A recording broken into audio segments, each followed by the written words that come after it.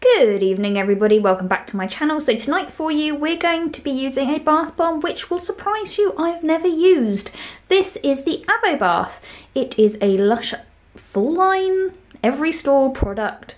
It's a staple in everybody's arsenal, uh, but I've never got around to using it. So I was gifted one a few weeks ago and I thought tonight is the night I'm going to use it. So the Bath has got rosewood, lemongrass, bergamot, and geranium um, and is a lovely green colour which is a nice change from the large amount of orange we seem to have had over Easter. Um, so yeah, we're going to pop her in, it's £3.50 and we're going to pop her in and see how we go.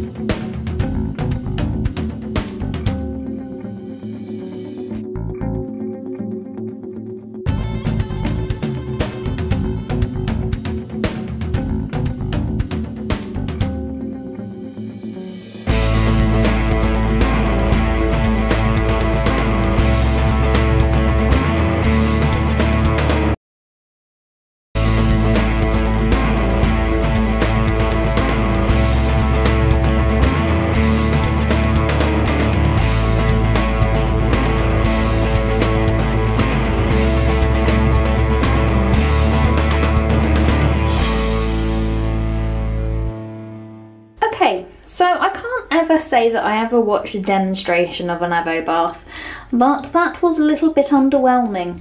However, the smell is not. It is a beautiful fragrance, um, really, really lovely. And I do love the colour of this water, this lovely kind of pastel green, very spring and fresh. Uh, really, really nice, really like it. Um, so yeah, I'm so sorry this was such a short one. I didn't expect it to be. Um, but yeah, there you go. Uh, definitely one that I wouldn't like, you know, not to get again. But, you know, it doesn't excite me particularly. Uh, have you ever tried the Avobath? Let me know what you think. Um, my one just sank like a rock and then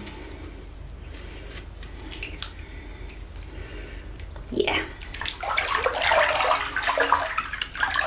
Um, still feels nice moisturising though, you know. You can tell there's some good oils in there. Um, but yeah, that is it. Uh, so guys, um, give this video a thumbs up, like and subscribe if you enjoy these types of videos. Um, I try to do a bath bomb review every week and I will see you all next time. Have an amazing week guys. Bye.